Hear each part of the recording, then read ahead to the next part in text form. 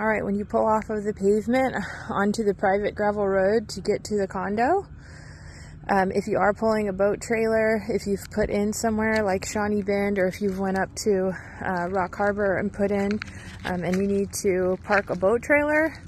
it's just a short distance you can pull up. And if you want to back down this area right up here to the left is a place to park a boat trailer, but you will have to back it down this short gravel area. I'm gonna walk on down and you can back straight off of the road.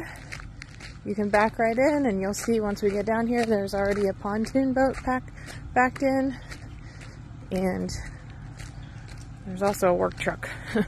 pulled in there right now too, but um, that truck's not normally there and the pontoon may not be there, but there's a shed building there and you're able to back in um, in either section and you could park your trailer there and then you would continue on down the road so that you can get to um, the rental unit. There is additional parking um, for another trailer down there, but there's no trailer parking at the unit itself.